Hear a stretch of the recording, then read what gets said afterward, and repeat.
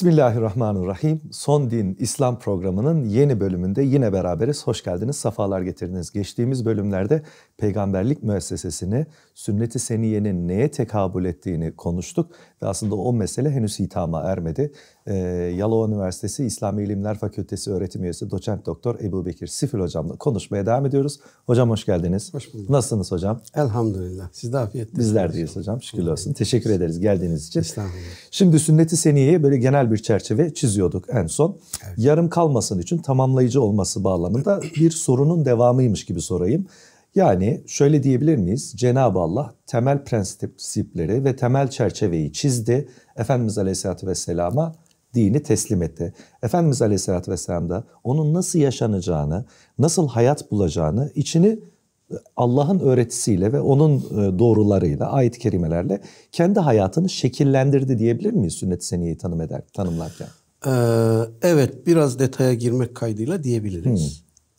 Allah Teala dini Efendimiz'e tabir yerinde olur mu bilmiyorum bir paket olarak teslim etmedi. Kur'an'ın vahyi işte 23 sene yaklaşık. 23 senelik bir süreç içerisinde tamamlandı. Tedrici olarak adım adım. Evet. Dolayısıyla bu süreç içerisinde bir taraftan e, vahiy inerken öbür taraftan Efendimiz inen vahiylerin tebliği, tebyini, tefsiri e, misyonunu da yerine getiriyordu.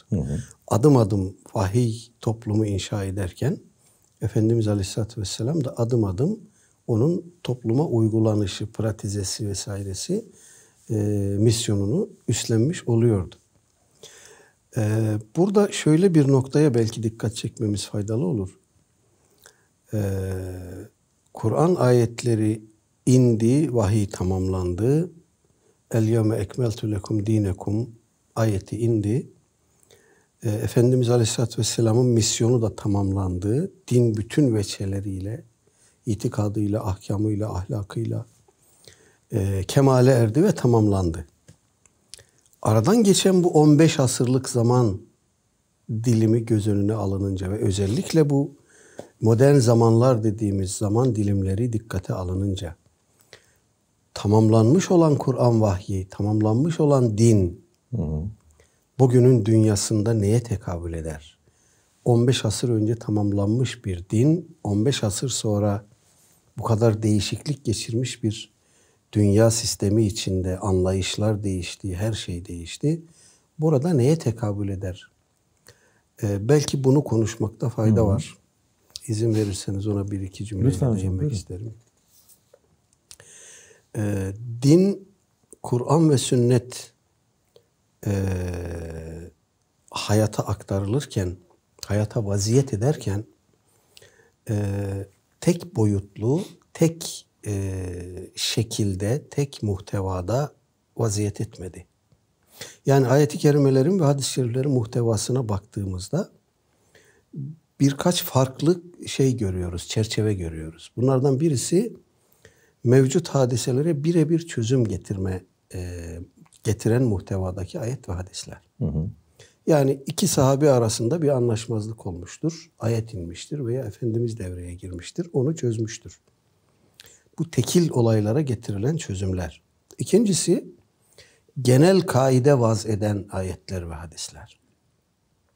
Ve üçüncüsü belki de en çok gözden kaçırılan husus bu. Özel bir olayı çözerken genel kaide vaz eden hmm. ayetler ve hadisler. Bunlar çok önemli. ee, bizim tarihselcilerimiz İslam'a, Kur'an'a, sünnete tarihsel perspektiften bakmayı tercih edenler genellikle derler ki 15 e, asır öncesinin toplumsal yapısı, sosyolojisi, kültürü e, neyi icap ettirdiyse ayetler o şekilde, o muhtevada indi, onu hedefleyerek indi. Sünnette o çerçevede şekillendi, tesis etti. Fakat toplumsal yapı değişti, kültür değişti, sosyoloji değişti. Dolayısıyla o tarihsel, kültürel, sosyolojik ortama onu dikkate alarak ona özel inmiş olan ayetler ve Efendimizin e, söylediği sözler bugünün dünyasına nasıl taşınır? İşte böyle baktığımızda e, bu üçlü ayrımı yapmazsak eğer bütün ayetleri, hadisleri tek bir e, boyutta e, inmiş gibi kabul edersek, tek bir çerçevede inmiş gibi kabul edersek aldanırız, yanılırız. Şunu söyleyeyim. E, diyelim ki Ebu Leheb'den bahseden bir Tebbet suresi var. Mekke'de inmiş. Ebu Leheb'in cehennemlik olduğunu söylüyor. Karısının cehennemlik olduğunu söylüyor. Bu surenin ve bu ayetlerin bugünün dünyasına bir şey söylemesinden bahsedebilir miyiz? Ne söyleyebilir evet dersek buna? Tarihte kalmış bir olay. Evet. Benim, benimle ne ilgisi var bugün diyor değil Bizimle mi? ne ilgisi var diyoruz. Fakat bizimle çok ilgisi var. Özellikle özel bir olaya ilişkin inip de aynı zamanda o olayı çözerken genel bir çerçeve getiren ayetler dedim ya az önce. İşte bu surede böyle bir yapı görüyoruz. Biraz yakından bakmak gerekiyor. Cenab-ı Hak orada eee Ebu Leheb'in malından ve karısından bahsediyor. Buraya bir hukukçu, bir fıkıhçı nosyonuyla baktığınız zaman şu sonucu çıkartırsınız ki ulema çıkartmış bu sonucu. İslam toplumunda yaşayan gayrimüslimlerin malları kendilerinindir. Bir mülkiyet ilişkisi vardır biz ona dokunmayız. İki, evlilik gibi medeni kanuna tekabül eden ilişkileri de kendi kurallarına göre, kendi sistemlerine göre işliyorsa biz ona da müdahale etmeyiz, onu da tanırız. Dolayısıyla Ebu Leheb'in karısı onun kendi inanç sistemi içerisinde e, karısıdır. Bunun hukuki sonuçları olur, bunun sosyolojik, kültürel sonuçları olur. Biz bunu tanırız.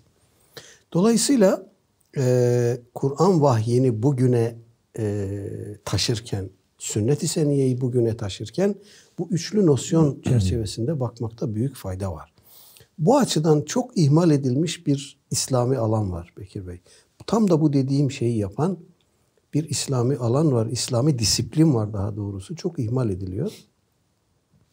Kavaidi fıkhiye diyoruz biz bunlara. Yani mecellenin başındaki o 99 külli kaide var ya. Bakın adı üstünde külli kaide. Bu külli kaidelerin e, kapsamına, muhtevasına girmeyen bir hadise düşünülemez. O kadar işler, o kadar e, zengin ve o kadar genel muhtevası var ki bu kaidelerin. Bunlar Kur'an ve sünnetten çıkarılmış kaideler. Bunları her topluma, her tarihe, her coğrafyaya, her olaya uygulayabilirsiniz. Bugünün dünyasında bize yeni iştihatlar lazım. Artık eski iştihatlar işimizi görmez diyen meslektaşlarımız var. Bunlara benim tavsiyem şu kavaidi fıkhiyeye bir bakın. Bunu tükettiniz mi? Kavaidi fıkhiyeye başvurduğunuzda çözemeyeceğiniz, çözemediğiniz bir alan çıktı mı karşınıza? Yani bu bu kaideleri işleterek neyi çözemediniz? Hangi noktalarda tıkandı bu?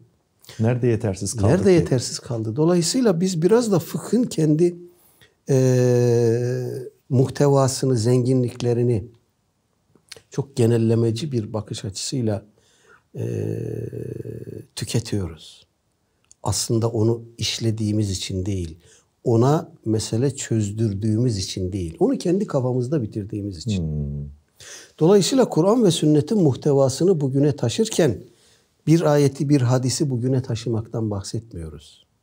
Kur'an ve sünnetin olaya, dünyaya, hadisata vaziyet eden muhtevasının taşınmasından Aynen bahsediyoruz. öyle. İşte o muhteva kendisini o külli kaidelerde dışa vuruyor. Orada birebir ayetler de vardır. Birebir hadisler de vardır.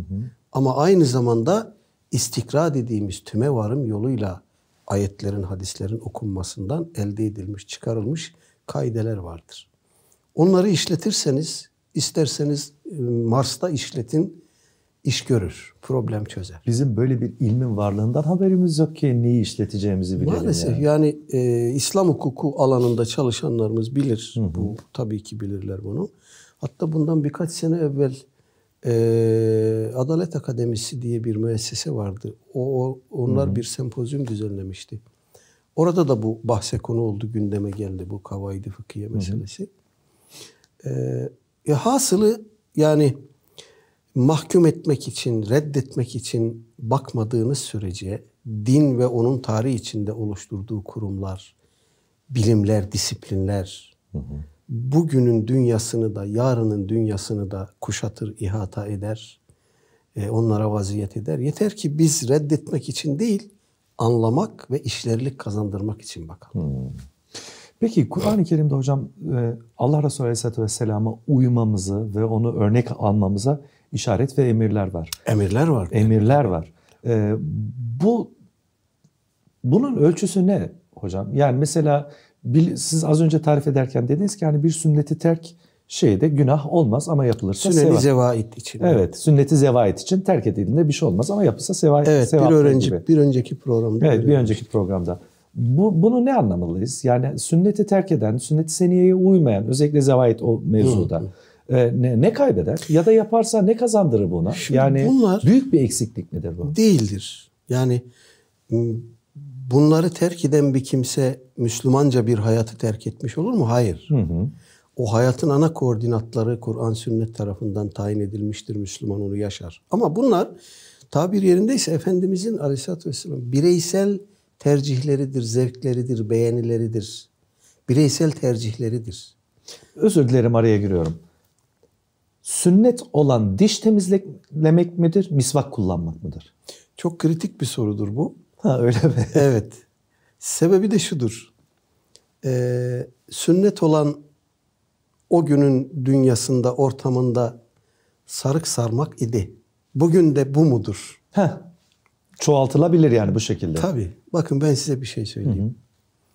Hı hı. Ee, bu Milli Eğitim Bakanlığı'nın e, ortaokullara, liselere bir tablet dağıtma evet şey vardı. Ta, Fatih projesi vardı. Hı hı. Bilmiyorum devam ediyor mu? O ben de bilmiyorum. bilmiyorum. O, o uygulama aşamasındayken Ankara'ya Bilkent'e bir konferansa davet edilmiştim ben. Hmm. Beni havaalanından alıp bana rehberlik eden bir kardeşimiz e, Fatih projesi hayata geçirilmeden önce bir ön hazırlık aşaması yapılmış. Çeşitli Avrupa ülkelerine, Batı ülkelerine heyetler gönderilmiş. Hı hı. Oralarda nasıl hı hı. neler oluyor bunlar incelenmiş. Hı hı. İşte o heyetlerden birinde bulunan bir kardeşimizmiş. Bana birebir kendisi anlattı. İngiltere'ye gittik dedi. Ee, bu eğitim işiyle kim ilgilenir? Bu işleri kim derüfte eder? Araştırdık. Çok kıdemli, saygın bir yaşlıca bir profesörü söyledi herkes. Hı hı. Telefon ettik, randevu aldık. Gittik profesörün yanına. Dedi ki böyle böyle biz Türkiye'de böyle bir proje başlatmak istiyoruz. Sizin eğitim alanındaki çalışma. Adam yüzlerce talebe yetiştirmiş, onlarca kitap yazmış, yüzlerce makalesi var. Bu işin duayeni İngiltere'de o. Adını unuttum. Hı hı. Ee, bize dedi ki size ideal bir eğitim ortamını ben anlatayım ister misiniz? Hı hı. Tabii dedik efendim bunun için geldik. Dedi ki bunca yıllık çalışmalarımın bana öğrettiği şeyi, neticeyi size söyleyeceğim.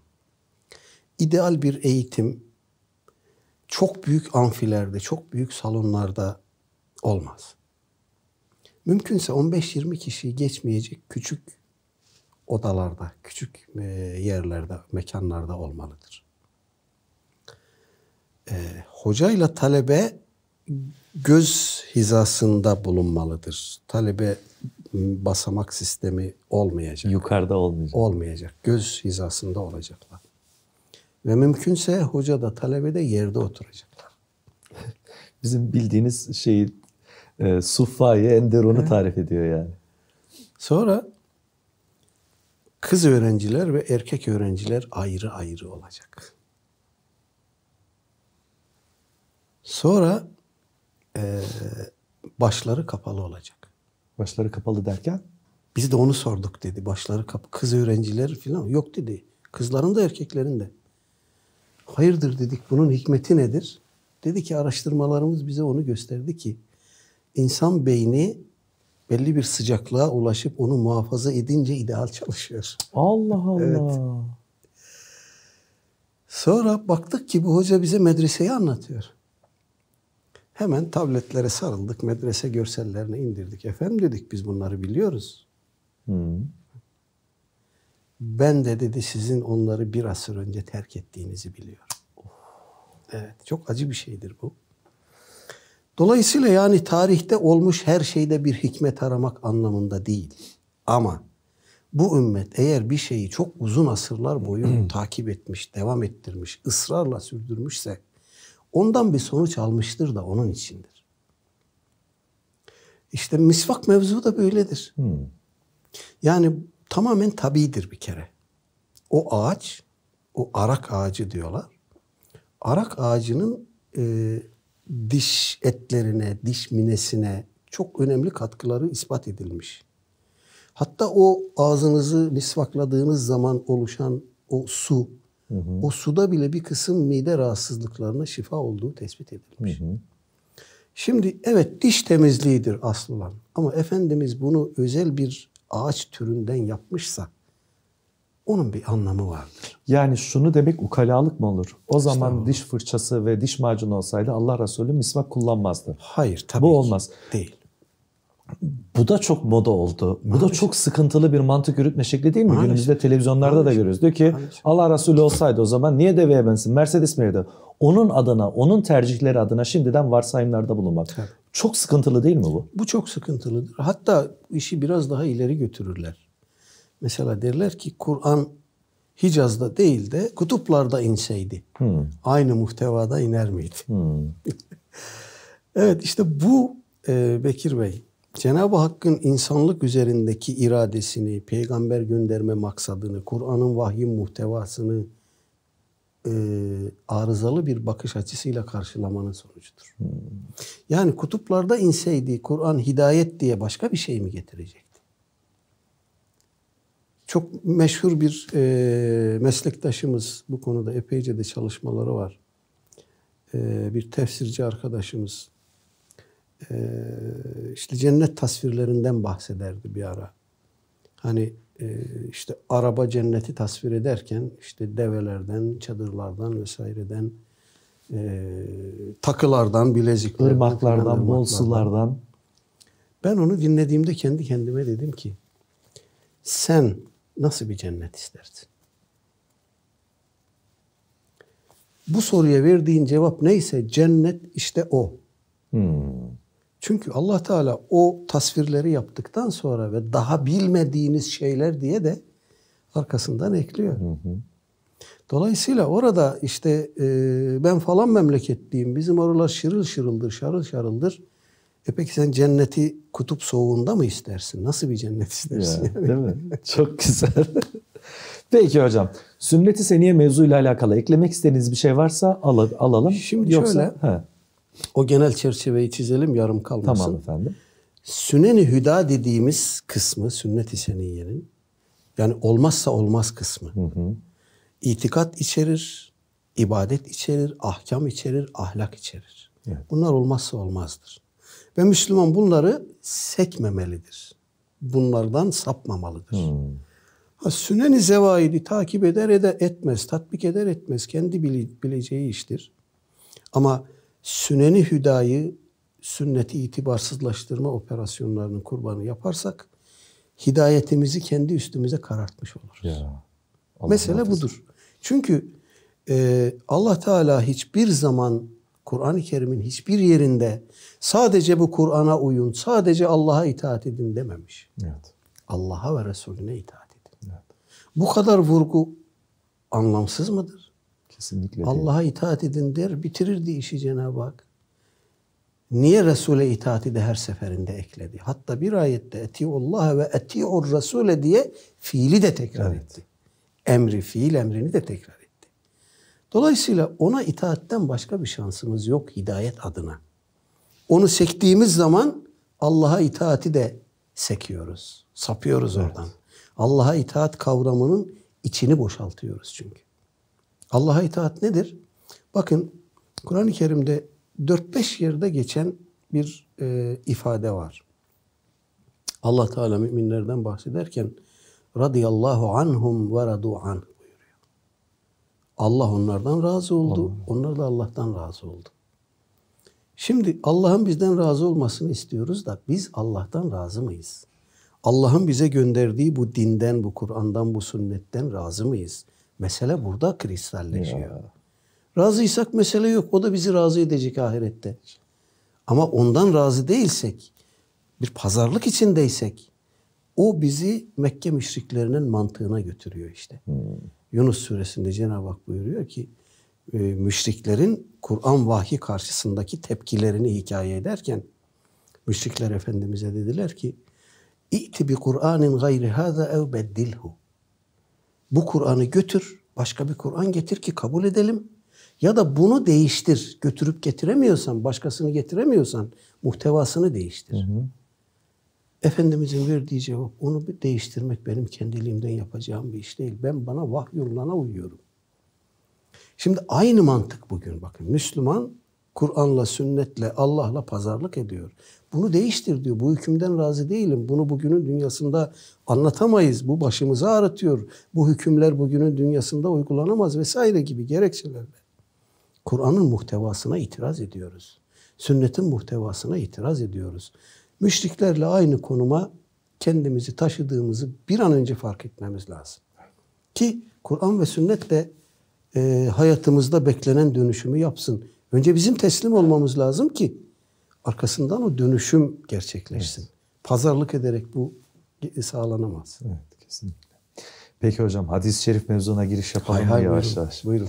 Nedir efendim hadis-i şerif? Ne anlamalıyız hadisten? Hadis uleması hadisi e, Peygamber Efendimizin fiilleri, sözleri ve takrirleri olarak tarif etmiş. Dolayısıyla kavli hadis, fiili hadis ve takriri hadis diye üç tür hadisten bahsetmiş. Bunlardan birisi doğrudan doğruya Aleyhisselatü Vesselam Efendimizin sözleridir. Hı hı. Kavli hadis. Hı hı. Fiili hadis ve takriri hadis sahabe-i kiramın Efendimiz üzerindeki gözlemlerini bize taşır. Hmm.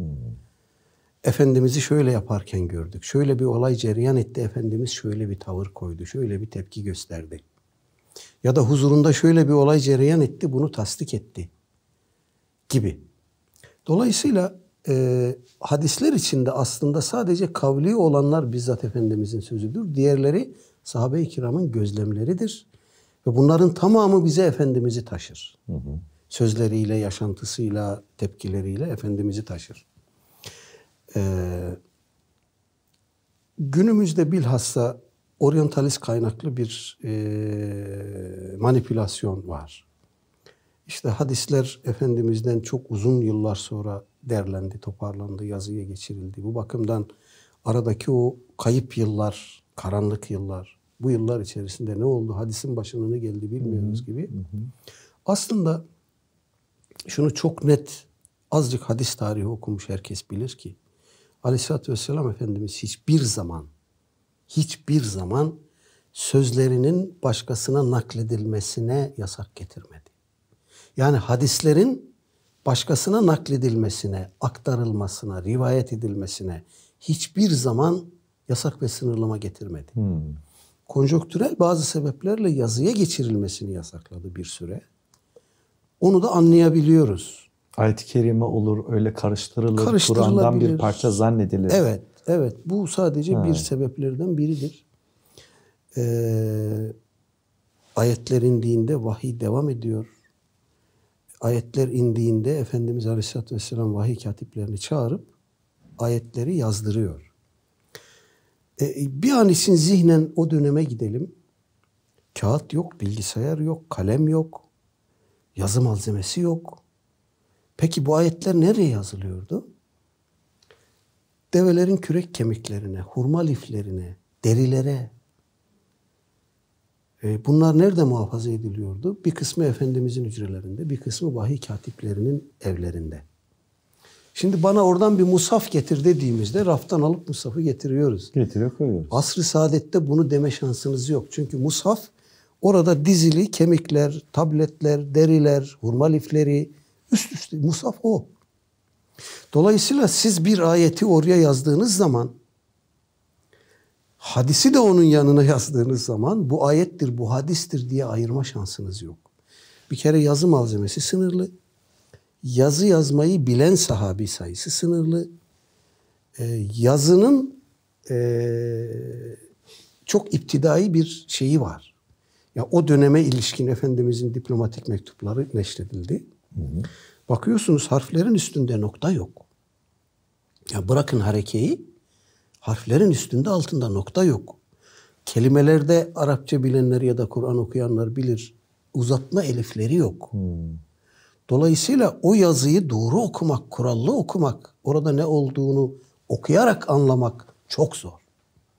Siz bir de oraya hadise eklediğinizde bunun oluşturacağı karmaşa düşünebiliyor musunuz? Yazı malzemesi sınırlı, yazı yazabilen kişi sayısı sınırlı, yazının karakteri e, belli. Hı hı. Dolayısıyla vahiy de devam ediyor. Efendimiz bu süre içinde benden Kur'an dışında bir şey yazmayın buyurmuş. Kim yazdıysa silsin. Hmm. Ama ne zaman ki e, Efendimizin işte bilhassa Mekke'nin fethinden sonra artık vefatı seniyeleri yaklaştı. Bu ona da belli oldu. O zaman yazı yazma taleplerine Efendimiz izin verdi. Hmm. Bizzat kendi bireysel hadis e, nüshasını oluşturmak isteyenlere de izin verdi. Tek tük bazı hadisleri yazmak isteyenlere de izin verdi. Bunlar tarihen sabit. Hı hı. Dolayısıyla sahabe-i kiram arasında 10-15 kadar kişinin, sahabinin kendi hadis cüzleri, sahifeleri, nüshaları var. Bunlar tespit edilmiş durumda.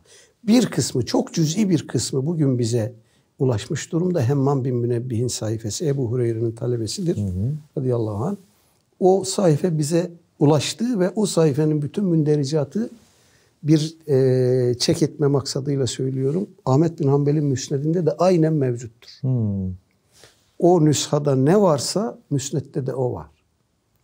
Bu bize tek başına bu bile bize bir şey anlatıyor. Yani burada bir sahabinin talebesinin oluşturduğu bir cüz var, bir nüsha var. Burada da şifahi rivayet yoluyla nakledilmiş bir eser var ve muhtevaları birebir uyuşuyor. Birebir aynı. Elhamdülillah. Buna benzer çok fazla sayıda e, şey var elimizde, belge var. Hı hı. Dolayısıyla hadislerin yazıya geçirilmesi bir süre yasaklanmıştır. Doğrudur. Ama bu hadis naklinin, rivayetinin engellenmesi anlamında asla değildir. Dediğim gibi Efendimiz hadislerinin nakline, rivayetine asla sınırlandırma ve yasak getirmemiştir. Hadis ve sünnet arasında nasıl bir ilişki var peki hocam? Hadis bugün itibariyle teknik tartışmaları bir tarafa bırakarak Hı-hı. söyleyeyim. Hadis bize sünneti taşıyan yegane vasıtadır. Hı-hı. Hadis kitaplarını e, görmezden gelirseniz Efendimizin sünnetine ulaşma şansınız yok. Elinizde bir tek siret kalır.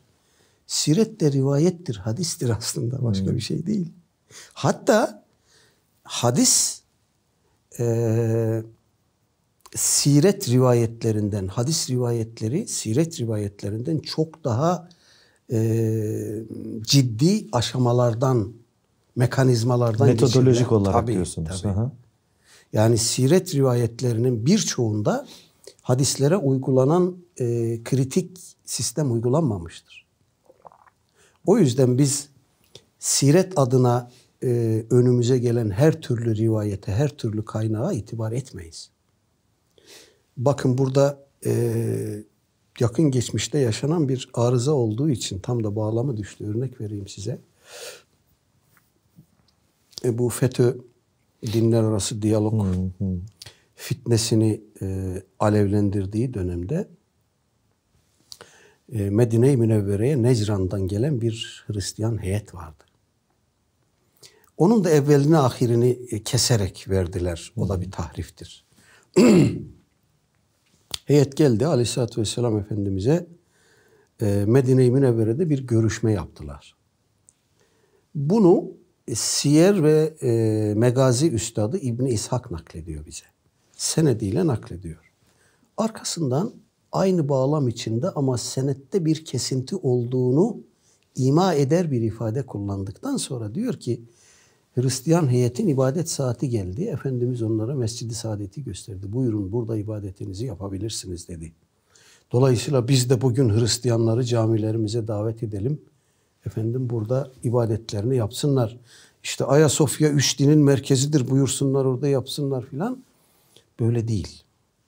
Yani o siyer rivayetini hadis tekniği açısından incelediğinizde o bölümde bir sıkıntı var. Hmm. İbn İshak da bunu ima etmiş, buna işaret etmiş. Ama bu bir ihtisas işi tabii. Onu hikaye okur gibi okursanız oradan çıkmaz. Onu bir teknik gözle okumanız lazım.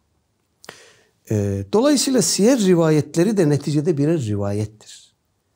E, burada biraz daha belki tolerans göstermişler. Hani e, Efendimizin hayatına dair en küçük bir ayrıntıyı acaba devre dışı bırakmış olur muyuz, olmaz mıyız şeklinde. Fakat her halükarda bizim ciddi bir siyer e, okuması yapmamız, ciddi bir siyer eseri yazmamız için siyer rivayetlerini hadis usulü kriterlerine vurarak kabul ya da reddetmemiz lazım. O disiplinle oturup O yapmak şart. lazım. O şart. Yani hadislere bu uygulanmış. Hmm. Burada başka bir arıza var Bekir Bey. Elimizde mevcut hadis kitapları var.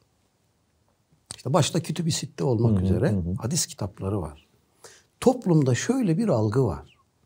Efendim bu kitaplar bilhassa Kütüb-i Sitte bize Peygamber Efendimizin sahih hadislerini aktarmak üzere yazılmıştır. Böyle bir şey yok. Niçin? Nasıl olmuş peki? Şöyle bu Kütüb-i Sitte içindeki sahihayını dışarı bırakırsak Buhari ve Müslim'in sahihlerini geri kalan dört sünen sahibinin hiçbirisi ben kitabıma sadece sahih hadisleri koyacağım diye yola çıkmamış. Böyle bir iltizamı yok. Niye yazmışlar? Mesela Ebu Davud Sünen diye bir kitap yazmış. Sonra Ebu Davud'a Mekke'den bir mektup yazmışlar. Bu Sünen kitabını yazdın ama bunu bize bir tanıt. Bu kitaba nasıl bakalım? Bütün hadisler güvenilir midir? Nedir, nasıldır diye. O da Sünenini tanıtan bir mektup yazmış.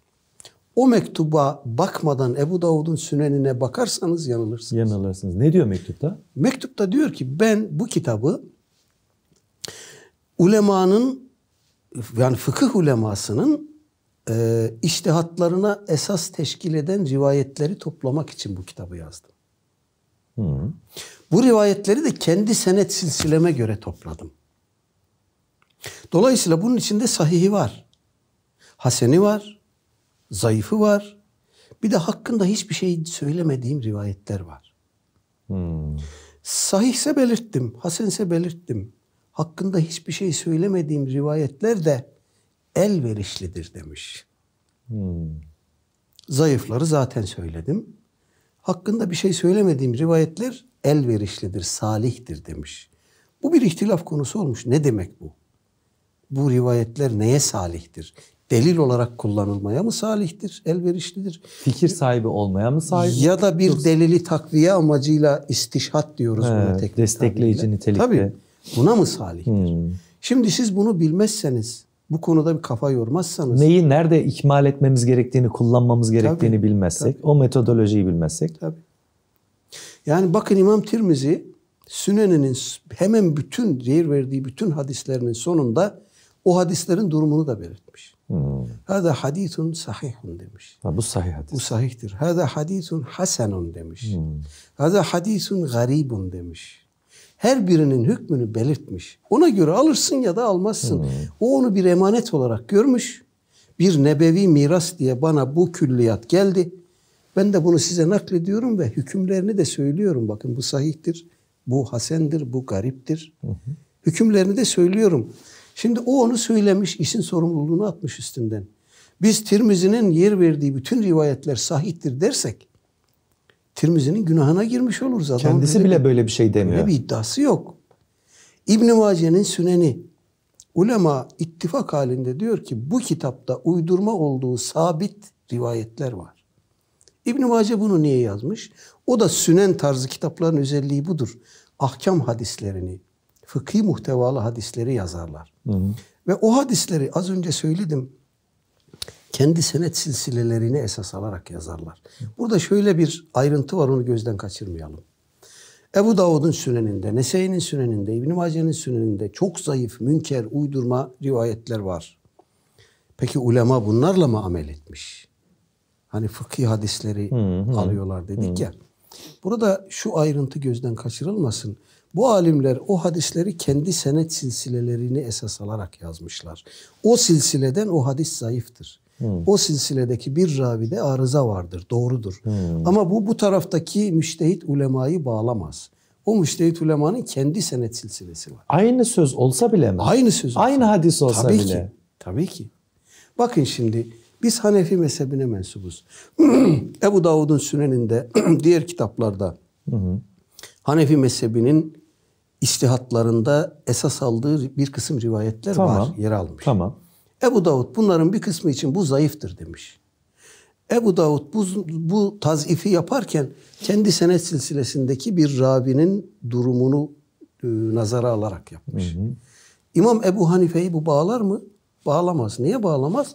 Çünkü o kendi hocaları vasıtasıyla Efendimiz'e bağlanıyor. Hı.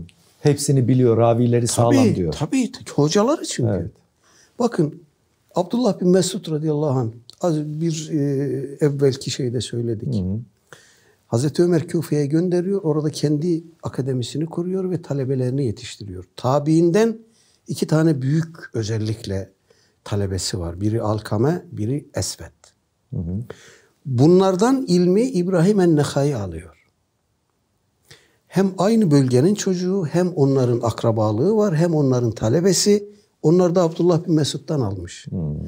İbrahim Nehai ilmini Hammad bin Ebi Süleyman'a aktarmış. İmam Ebu Hanife 20 sene Hammad bin Ebi Süleyman'ın yanında talebelik etmiş. Hı Dolayısıyla İmam Ebu Hanife bir konuda haddeseni Hammad dediği zaman bu İbrahim Nehai Alkama üzerinden İbn Mesud'a ulaşıyor oradan Efendimiz'e gidiyor.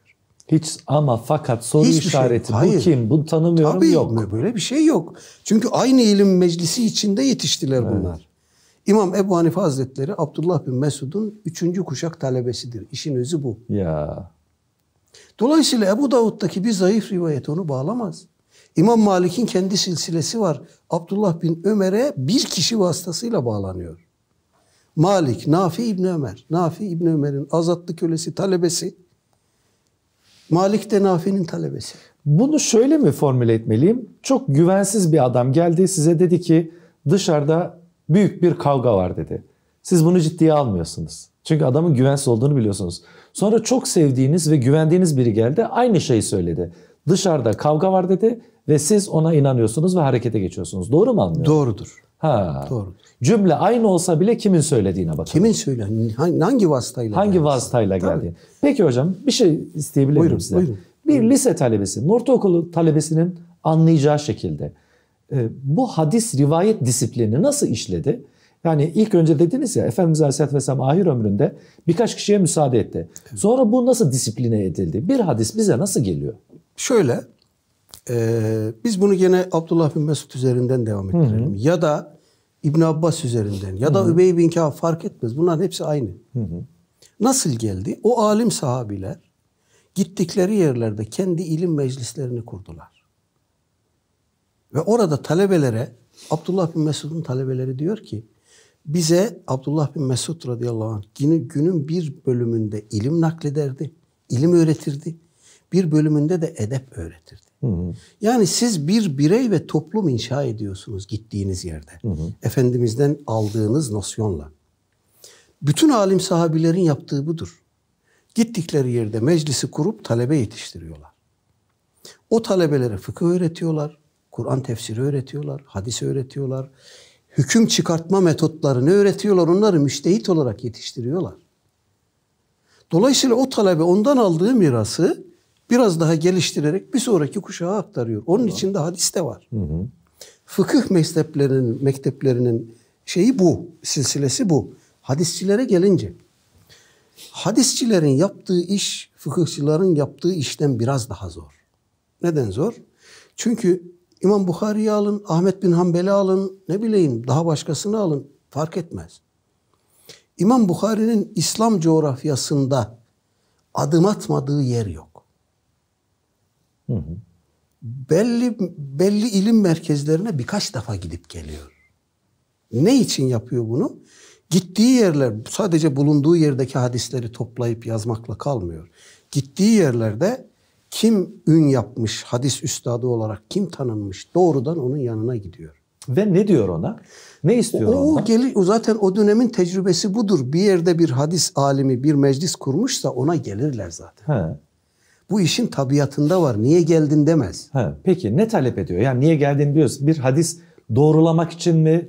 Kendisinde olmayan Efendimizin bir hadisini ondan almak için mi? Elindekileri teyit için mi? Ne için? Hepsi için. Hepsi, hepsi beraber. Tabii ha. hepsi için.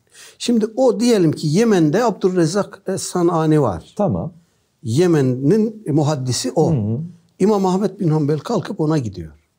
Sen diyor burada sana işte Ebu Hureyre vasıtasıyla gelen rivayetleri sen topladın. Hemmam bin Münebbihin talebesi. Tamam. Birinci kısımda dedik ya Evet. Ebu Hureyre Hemmam'ı yetiştirmiş, onun cüzü var. Evet. O da Abdurrezzak'ı yetiştirmiş, onun musannefi var. Bugün neşredildi 15 cilt. Dolayısıyla gidiyor oraya, diyor ki ben bu hadisleri senden vasıtalı olarak duydum ama bizzat senden duymak Senin istiyorum. ağzından Onun için- duymak tabii, istiyorum bunu da. Tabii. Oturuyor onun meclisinde, daha başkaları da var tabii. Bir ilim e, meclisi, hadis meclisi bu. Hoca söylüyor, talebe yazıyor. Veya hocanın bir nüshası vardır. Birisi onu okur, diğerleri dinler, yazar. Sonra nüshalarını mukabele ederler, çek ederler. Ondan aldığı rivayetleri alır, bir de rivayet iznini alır ondan. Sonra kalkar Basra'ya gider. Basra'daki başka bir ilim e, hadis aliminin meclisine gider. Orada ondan dinler, o nüshayı oluşturur, ondan izin alır, kalkar Küfe'ye gider. Hmm.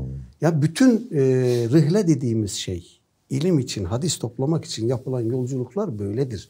Yoksa falan yerde bir adam varmış, hadis biliyormuş, gidip onu bir durayım diye böyle olmaz. O hadis alimi bellidir, ün yapmıştır, isim yapmıştır, silsilesi bellidir. Kimden ilim aldığı bellidir. Dolayısıyla bütün İslam dünyasında tanınır o. Siz de gider ondan ilim alırsınız. Ashab-ı kiram bir hadis rivayet ettiğinde onu başka bir sahabiden doğrulatma ihtiyacı olmuş Zaman mudur? zaman olmuştur. Ha. Zaman zaman Mesela olmuştur. Abdullah İbni Mesud ben Allah Resulü Aleyhisselatü Vesselam'ın şöyle dediğini işittim dediğinde bu direkt hadis olarak aşağı iner mi? Tabii. Tabii ki. Ama herkes bir Abdullah İbni Mesud değil. O yüzden ötekileri doğrulatmak mı gerekiyor? Yok şöyle. Bazen sahabi tereddüt eder. Ha, böyle mi demişti böyle Acaba mi öyle demişti? miydi böyle miydi? Ee, Cabir bin Abdullah radıyallahu anh. Efendimizden bir hadis duymuş. Bir hadis derken çok hadis duymuş da. Duyduğu hadislerden bir tanesi var ki onu Efendimizden dinleyen başka kimse hayatta sahabi kalmamış. Ha. Basra'da e, birisi duymuş. Biz, orada bir sahabi varmış. O da bu hadisi duymuş diye. Hı. Medine-i Münevvere'den o zaman yolculuk en az bir ay. Tabii.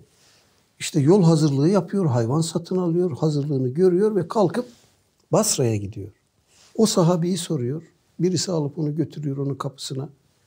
Selam aleyküm selam. Ee, Ben Cabir. Sarılıyorlar. Hoş geldin, beş gittin. Ben Efendimiz'den böyle bir hadis dinlemiştim. Bunu senin de dinlediğini e, haber aldım. Başka soracak kimse kalmadı. Bana nakleder misin? Nasıldı? O da diyor ki Kale Resulullah sallallahu aleyhi ve sellem keza. Allah Allah. Tamam diyor sarılıp ayrılıyorlar. Ya gel içeri diyor. Yok diyor. Ben bunun için gelmiştim. Tekrar geri gideceğim. Yani bizde ne kadar çok hakları var değil mi? Tabii tabii. Bir tek hadis için. Ve bu ona mahsus bir şey değil. Böyle onlarca olay var hadis tarihinde. Tek bir rivayet için. Sonra, sonrası da var. Hı. Basra birinci asrın sonlarından itibaren Irak coğrafyası, Basra, Bağdat. Ee, böyle kumkuma gibi kaynıyor. Orada bid'at mezhepler var, kaderiye var, şia var, cehmiye var vesaire. Kader var mı yok mu diye bir tartışma çıkıyor orada. Ee, Hasan-ı Basri Hazretleri'nin iki talebesi var bu konuda baş çekiyor onlar. Biri Vasıl bin Ata, biri de Amr bin Ubeyd. Bunlar iç dış bir kısım etkenler dolayısıyla e, başka farklı fikirlere e, sahip oluyorlar ve bunu toplumda propaganda ediyorlar. Ve bu duyuluyor. Basra'dan bunu duyan bir kişi yanına bir de arkadaş alıyor. Diyor ki bu bunu sahabeye sormamız lazım. Gidelim bir hac veya umre mevsimi kalkıyorlar Hicaz'a gidiyorlar. Sonra Mekke-i Mükerreme'den Medine'ye geçiyorlar. Orada Allah Resulü'nün ashabından kimi bulabiliriz derken Mescid-i Saadet'e giderken İbn Ömer'e rastlıyorlar. Hı. Radıyallahu anhuma. Biri sağına biri soluna geçiyor. Kendilerini tanıtıyorlar. Diyorlar ki bizim oralarda bazı adamlar çıktı. Kader yoktur diyorlar. Ne dersiniz?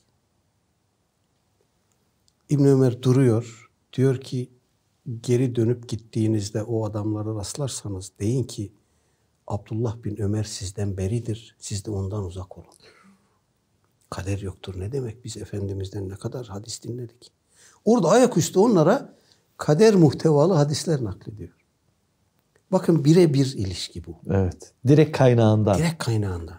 Ve buna dair şu anda benim notlarımda en az 5-6 tane anekdot var. Aynı şey. Biri Basra'da oluyor, biri Bağdat'ta oluyor, biri başka yerde oluyor. Bir meclise gidiyor, birisi orada kader tartışıyorlar. Onu da biraz sıkıştırıyorlar, bunalıyor, kalkıp sahabeye gidiyor. Ya diyor beni kurtar bu işten, patlayacağım ben. Beni sıkıştırdılar orada bir şey diyemedim bana. Bu işi anlat. O da diyor ki Efendimiz Aleyhisselatü Vesselam şöyle buyurdu. Dolayısıyla hadis nakli sahabeden tabiine o ilim merkezleri dışında bir de bu tarz gündemler, aktüaliteler üzerinden naklediliyor. Bu çünkü toplum hareketli. Sürekli yeni yeni şeyler Tabii, oluyor. tabii. Fitne çıkıyor. Elbette. Zaman değişiyor Elbette. mütemadiyen. Sorunlar farklı. Yani o bid'at mezhep mensupları dışında hiç kimse ki bunlar azınlıktır. Hiç kimse acaba bu konuda sahabe ne diyor ya boş ver sahabeyi biz kendi işimize bakalım asla. Kur'an'a bakalım demiyor. Sahabeye gidelim diyorlar. Eyvallah. Teşekkür ederim hocam. Hocam tam demini bulmuştu. Kıymetli dostlar eminim siz de böyle keyifle dinliyorsunuz. Ama yarım bırakmayacağız inşallah. Bir sonraki programda İnşallah. devam edelim hocam. İnşallah. Çünkü bu hakikaten belki şu zamanda en çok konuşulması gereken konu bu. En çok anlamamız gereken konu bu. Allah sizden razı olsun. Cümlemizden. Yeni bölümde yeniden görüşmek ümidiyle. Allah'a emanet olun.